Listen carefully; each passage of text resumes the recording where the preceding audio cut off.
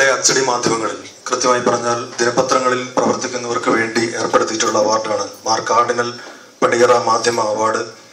കഴിഞ്ഞ മൂന്ന് വർഷമായി നമ്മളത് നൽകി വരുന്നു. കേരളത്തിലെ പത്രങ്ങളിൽ ഓരോ വർഷവും പ്രസിദ്ധീകരിക്കപ്പെടുന്ന രചനകളിൽ മനുഷ്യാവകാശങ്ങളെയും മാനവിക മൂല്യങ്ങളെയും സാമൂഹിക നീതിയെയും ഉയർത്തിപ്പിടിക്കുന്ന രചനകൾ തിരിച്ചറിയുക അവയുടെ രചയിതാക്കളെ അംഗീകരിക്കുക എന്ന ലക്ഷ്യത്തോടു കൂടിയാണ് ഈ അവാർഡ് സ്ഥാപിതമായിരിക്കുന്നത്.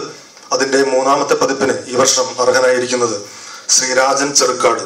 ഇവിടെ സൂചിപ്പിക്കപ്പെട്ടു മാതൃഭൂമിയിൽ പ്രസിദ്ധീകരിക്കപ്പെട്ട പൊതുവിദ്യാഭ്യാസം പിൻബെഞ്ചിലേക്ക് എന്ന പരമ്പരയാണ് അദ്ദേഹത്തെ ഈ അവാർഡിന് അർഹനാക്കിയത്. കേരളത്തിലെ പൊതുവിദ്യാഭ്യാസ രംഗത്ത് പരിഷ്കരണങ്ങളും പരിഷ്കരണങ്ങൾക്കുമേൽ പരിഷ്കരണങ്ങളും നടന്നപ്പോൾ അത് പൊതുവിദ്യാഭ്യാസ സമ്പ്രദായത്തിന് ഏൽപ്പിച്ച ആഘാതം അതിന്റെ പ്രതിസന്ധി അനന്തരഫലങ്ങൾ അവയെ വസ്തുനിഷ്ഠമായി സമഗ്രമായി വിശകലനം ചെയ്യുന്ന പഠിക്കുന്ന ഒരു പരമ്പരയായിരുന്നു അത്. അതിപ്പോൾ പുസ്തക രൂപത്തിലും പ്രസിദ്ധീകരിക്കപ്പെടാനായിട്ട് പോകുന്നു. ആ പരമ്പരയാണ് അവാർഡിന് അർഹമായത്. ശ്രീ രാജൻ ചെറുക്കാട് കോഴിക്കോട് കായണ്ണ ചെറുക്കാട്ട് പരേതനായ കാപ്പുമ്മൽ ശങ്കരൻ നായരുടെയും ശ്രീദേവി അമ്മയുടെയും മകനാണ്. കാലിക്കറ്റ് യൂണിവേഴ്സിറ്റിയിൽ നിന്ന് മലയാളത്തിൽ എം എ ബിരുദം നേടി വൈകാതെ മാതൃഭൂമിയിൽ പത്രപ്രവർത്തകനായി ചേർന്നു. തിരുവനന്തപുരം കൊച്ചി കണ്ണൂർ എന്നിവിടങ്ങളിൽ പ്രവർത്തിച്ചു. മൂന്ന് ദശാബ്ദങ്ങളിലേറെ നീളുന്ന പത്രപ്രവർത്തന പരിചയം അദ്ദേഹത്തിനുണ്ട്. ഇപ്പോൾ പാലക്കാട് യൂണിറ്റിൽ chief sub എഡിറ്ററാണ്. Palakkad government Victoria college English വിഭാഗം മേധാവി ആയ പ്രൊഫസർ പി പി മഞ്ജുളയാണ് അദ്ദേഹത്തിന്റെ ഭാര്യ. വിദ്യാർത്ഥികളായ മിഥുൻ രാജ് കിരൺ രാജ് എന്നിവരാണ് മക്കൾ. അവരും ഇവിടെ ഇവിടെയുണ്ട്. പത്രപ്രവർത്തനത്തിനുള്ള UNICEF award M Sivaram award father Columbiere award medical trust silver jubilee award എന്നിവയും ഇതിനു മുൻപ് ശ്രീ രാജൻ ചെറുക്കാടിന് ലഭിച്ചിട്ടുണ്ട്. ശ്രീരാജന് സത്യദീപം പത്രാധിപ സമിതിയുടെയും ഇവിടെ കൂടിയിരിക്കുന്ന നിങ്ങൾ ഓരോരുത്തരുടെയും പേരിലുള്ള ഹാർദവമായ അഭിനന്ദനങ്ങൾ നേരുന്നു.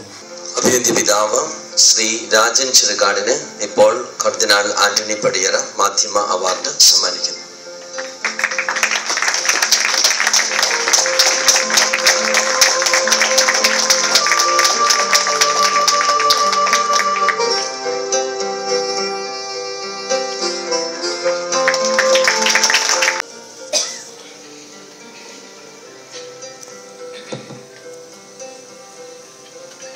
ബഹുമാന്യരെ അവാർഡ് ദാനം നിർവഹിച്ച ആദരണീയനായ കർദിനാൾ ജോർജ് ആലഞ്ചേരി ഈ ചടങ്ങിന്റെ മുഖ്യാതിഥി justice Pius Kuriakose reverend doctor Kuriakose Mundadan Shri Marshal Frank doctor Paul Therekkatt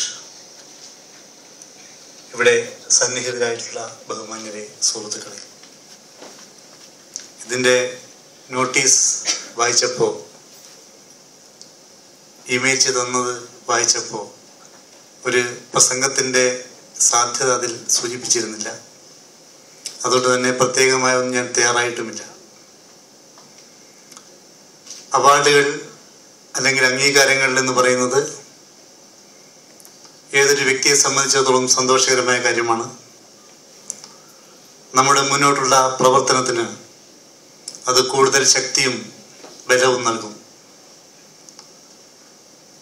ഈ അവാർഡിന് എന്നെ തിരഞ്ഞെടുത്തതിന് സത്യദീപത്തോടും ഇതിന്റെ ജൂറിയോടുമുള്ള എന്റെ നന്ദി ഞാൻ ആദ്യമേ അറിയിക്കുകയാണ്. ഈ പരമ്പര ഒരു കാലത്ത് ലോകത്തെ ഏറ്റവും വികസിത രാജ്യങ്ങളോടൊപ്പം വിദ്യാഭ്യാസത്തിന്റെ കാര്യത്തിൽ മുന്നേറിയ ഒരു സംസ്ഥാനമായിരുന്നു കേരളം. ആ കേരളത്തിലെ പൊതുവിദ്യാഭ്യാസം ഇന്ന് തകർന്ന്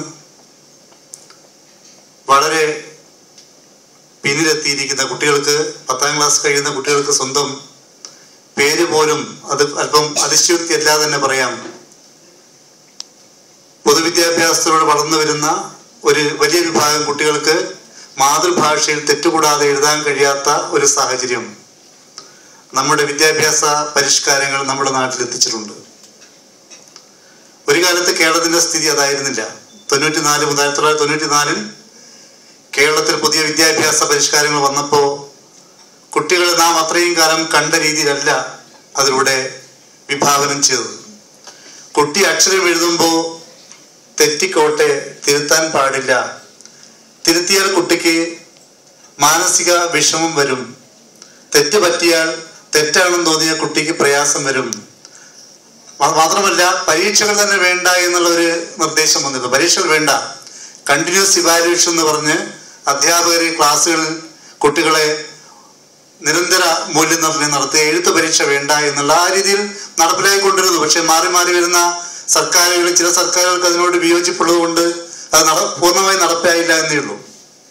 ഇന്നത്തെ മാറി ഇപ്പം നൂറ്റി മുപ്പത് മാർക്ക് അതിനു വേണ്ടി പത്താം ക്ലാസ് പരീക്ഷയ്ക്ക് കൊടുക്കുകയാണ്. വെറുതെ എല്ലാ കുട്ടികൾക്കും തോറ്റവർക്കും ജയിച്ചവർക്കും എല്ലാം കണ്ടിന്യൂസ് ഇവാലുവേഷൻ എന്ന് പറഞ്ഞ നൂറ്റി മുപ്പത് മാർക്ക് മൊത്തം കൊടുക്കും. പണ്ട് ഇരുന്നൂറ്റി പത്ത് മാർക്ക് കിട്ടുമ്പോൾ മുപ്പത് മാർക്ക് മോഡറേഷൻ കൊടുക്കുന്ന സാഹചര്യം ഉണ്ടായിരുന്നു. അതിനെ കുറ്റം പറഞ്ഞ ആളുകൾ ഇപ്പോ നൂറ്റി മുപ്പത് മാർക്ക് വെറുതെ കൊടുത്ത് എല്ലാവരെയും ജയിപ്പിക്കുക. നമ്മുടെ കേരള സംസ്ഥാനം പിറവി കൊണ്ട കാലത്തൊക്കെ നടത്തിയ പത്താം ക്ലാസ് പരീക്ഷകളിലൊക്കെ അൻപത് ശതമാനത്തിൽ താഴെയായിരുന്നു വിജയമെങ്കിൽ ഇന്നത് തൊണ്ണൂറ്റി മൂന്ന് തൊണ്ണൂറ്റി നാല് ശതമാനമാവുന്നു. സേ എന്ന് പറഞ്ഞ് സെയിം എ ഇയർ എന്ന് പറഞ്ഞ് വീണ്ടും പരീക്ഷ നടത്തി തൊണ്ണൂറ്റി ഒമ്പത് ശതമാനം വരെ വിജയമാവുകയാണ്. ഇങ്ങനെ എങ്ങനെയാണ് വിജയിക്കുക? ഡി പി ബിജു പ്രഭാകർ പോലും കഴിഞ്ഞ ഒരു സർക്കുലർ കഴിഞ്ഞ അധ്യാപക സംഘടന നേതാക്കന്മാരുടെ മീറ്റിംഗിൽ ഒരു സർക്കുലർ കൊടുക്കുകയുണ്ടായി.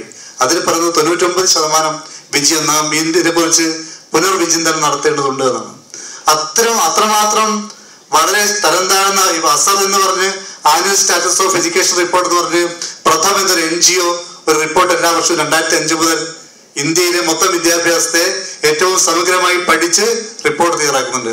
ആ റിപ്പോർട്ടിൽ കേരളത്തിന്റെ സ്ഥിതി വളരെ താഴ്ന്ന നിലയിലാണ്. ആ റിപ്പോർട്ട് കണ്ടതാണ് എനിക്ക് ഇതിനെക്കുറിച്ച് എഴുതണമെന്ന് തോന്നിയത്. ഞാൻ നിരന്തരമായി തൊണ്ണൂറ്റി ഏഴിൽ ഞാനൊരു ഡി പി ഇനി ഡി പി പി പരീക്ഷണം എന്ന് പറഞ്ഞ ലേഖന പരമ്പര മാതൃഭൂമിയിൽ എഴുതിയിരുന്നു. അവിടെ നിന്ന് ഇങ്ങോട്ട് ഞാൻ നിരന്തരമായി ഫോളോ ചെയ്യുന്നുണ്ടായിരുന്നു. അപ്പൊ അതിന് ആധികാരികമായ രേഖകൾ പ്രഥം പോലെയുള്ള ഏജൻസികൾ വേൾഡ് ബാങ്ക് പോലും അവരുടെ പഠനത്തിന് അവരുടെ ആസൂത്രണത്തിന് മാർഗദർശനം ഏകുന്ന അവർ അടിസ്ഥാനമാക്കുന്ന ഒരു റിപ്പോർട്ടാണ് ഈ അസർ റിപ്പോർട്ട്. അതിനടക്കം കേരളത്തിന്റെ വിദ്യാഭ്യാസ നിലവാരം വളരെ പുറകിലേക്ക് പോയിരിക്കുന്നു. ആ ഒരു സാഹചര്യത്തിലാണ് ഈ ഒരു ലേഖന പരമ്പര എഴുതിയത്. ഒരു വിഭാഗം സംഘടിതമായ അധ്യാപക സമൂഹം എനിക്കെതിരെ എല്ലാ ജില്ലകളിലും അവരുടെ സർക്കുലർ ഇറങ്ങി. ഞാനിത് പിന്നെ പൊതുവിദ്യാഭ്യാസ അൺഎയ്ഡഡ് സ്കൂളുകൾക്ക് വേണ്ടിയാണ് എഴുതുന്നത്. അൺഎയ്ഡഡ് സ്കൂളുകൾ എഴുതേണ്ട കാര്യമില്ല. കാരണം ഒരുവിധം രക്ഷയുള്ള രക്ഷിതാക്കളൊക്കെ തന്നെ അവരുടെ മക്കളെ ഇപ്പൊ തന്നെ അൺഎയ്ഡഡ് ഇംഗ്ലീഷ് മീഡിയം സ്കൂളിൽ ചേർത്ത് കഴിഞ്ഞു. ഇപ്പൊ ഒന്നും ചോദ്യം ചെയ്യാൻ കഴിയാത്ത സമൂഹത്തിൽ ഏറ്റവും പിന്നോക്കമുള്ള ഒരു വിഭാഗമാണ് പൊതുവിദ്യാഭ്യാസം. രക്ഷയില്ലാത്ത അടുത്തൊന്നും അൺഎയ്ഡഡ് സ്കൂളിൽ ഇല്ലാത്ത വിഭാഗം മാത്രമേ കുട്ടികളെ ഇത്തരം സാധാരണ സ്കൂളുകളിലേക്ക് നടത്തുള്ളൂ. D P P S S A R M S തുടങ്ങി. ഇപ്പൊ റൂസ വന്നുകൊണ്ടിരിക്കുകയാണ്. ഉന്നത വിദ്യാഭ്യാസ രംഗത്തേക്ക് വന്ന റൂസ. അതിനൊക്കെ ഈ ഈ കക്ഷികൾ എനിക്കെതിരെ ഇത് എഴുതിയ ആളുകൾ ഇപ്പൊ റൂസ എതിർക്കുന്നുണ്ട്. പക്ഷെ അത് ഇതിന്റെ തുടർച്ചയാണ് തൊണ്ണൂറ്റിനാല് മുതൽ നമ്മുടെ ഇന്ത്യൻ വിദ്യാഭ്യാസത്തെ ലോക ബാങ്കിന്റെ നേതൃത്വത്തിലുള്ള ഒരു രീതിയിലുള്ള അവരുടെ നിയന്ത്രണത്തിലേക്ക് വന്നുകൊണ്ടിരും. അതിന്റെ അവസാനത്തെ ഇതാണ് ഉന്നത വിദ്യാഭ്യാസ രംഗത്തേക്ക് വരുന്ന റൂസ. അപ്പോ അതാണ് ഇത് എഴുതാനുള്ള സാഹചര്യം ഉണ്ടായത്. എനിക്കിവിടെ പിതാവ് പറഞ്ഞതുപോലെ ഈ രംഗത്ത് ഇനിയും ഒരുപാട് ചെയ്യാനുണ്ട്. അതിന്റെ പുസ്തക രൂപത്തെ കുറെ കൂടി വിവാദം ഉണ്ടാകുന്ന രീതിയിലുള്ള വെളിപ്പെടുത്തലുകളുടെ പുസ്തകത്തിന്റെ രചനയിലാണ് ഞാൻ നിങ്ങളുടെ എല്ലാവരുടെയും അനുഗ്രഹവും ആശീർവാദവും ഉണ്ടാവണം. പത്രപ്രവർത്തകൻ എന്ന നിലയ്ക്ക് ഇവിടെ ചലപതി റാവുവിന്റെ കാര്യം ജസ്റ്റിസ് പയസ് കുര്യക്കോ സൂചിപ്പിക്കുകയുണ്ടായി. ലോ ഇന്ത്യയിലെ ഏറ്റവും മികച്ച പത്രപ്രവർത്തകർ പോത്തൻ ജോസഫ് ജോസഫിനെ പോലെയുള്ള സി പി രാമചന്ദ്രനെ ഏറ്റവും മികച്ച പത്രപ്രവർത്തകരെന്ന് ചലപതി റാവു ആ ചലപതി റാവു അവസാനം ഡൽഹിയിലെ ഒരു വഴിയോരത്ത് കിടന്ന് മരിച്ചപ്പോൾ ആർക്കും അദ്ദേഹം തിരിച്ചറിഞ്ഞില്ല. പത്രത്തിലൂടെ എഴുതുമ്പോൾ അദ്ദേഹം അദ്ദേഹം എല്ലാവർക്കും അദ്ദേഹത്തിന്റെ കോളങ്ങളിൽ പേര് വരാൻ വേണ്ടി നെഹ്റുവിനെ പോലുള്ള നേതാക്കന്മാരെ പോലും ആഗ്രഹിച്ചിരുന്ന ചരപതി റാവു അവസാനം മരിച്ച് വീണ മരിച്ച് ഡൽഹിയിലെ തെരുവീതിയിൽ വഴിയരികിൽ മരിച്ചു വീണപ്പോ അദ്ദേഹത്തെ ആരും തിരിച്ചറിഞ്ഞില്ല. അതാണ് പത്രപ്രവർത്തകന്റെ ജീവിച്ചിരിക്കുന്ന കാലത്ത് പത്രമാധ്യമത്തോട് ഒട്ടി നിൽക്കുമ്പോൾ എല്ലാവരും അറിയുകയും എല്ലാവരും അംഗീകാരം കിട്ടുകയും ചെയ്യും. അവസാനം അതുകൊണ്ടാണ് സി പി രാമൻ മലയാളത്തിലെ പോത്തൻ ജോസഫിന്റെ നിലവാരത്തിലുള്ള Times of India Hindustan Times ഉൾപ്പെടെയുള്ള പത്രസ്ഥാപനങ്ങളിൽ വളരെ ഉന്നതമായ സ്ഥാനത്തിരുന്ന സി പി രാമചന്ദ്രൻ അവസാന കാലത്ത് ഈ പറളിയിലേക്ക് തിരിച്ചു വന്നത്?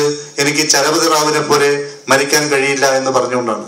അപ്പോൾ ആ രീതിയിലുള്ള മികച്ച പത്രപ്രവർത്തകരെ ഇന്ത്യൻ ഇന്ത്യയ്ക്ക് സമ്മാനിച്ച നാടാണ് കേരളം. ആ കേരളത്തിൽ നമുക്ക് ഇനിയും ഇത്തരം അംഗീകാരങ്ങൾ പത്രപ്രവർത്തകർക്ക് അവരുടെ ജീവിതത്തിൽ മുന്നോട്ടുള്ള യാത്രയ്ക്ക് ഉണ്ടാവട്ടെ എന്ന് എന്ന് പ്രതീക്ഷിച്ചുകൊണ്ട് പ്രത്യാശിച്ചുകൊണ്ട് നിർത്തുന്നു. എല്ലാവർക്കും ഒരിക്കൽ കൂടി നന്ദി.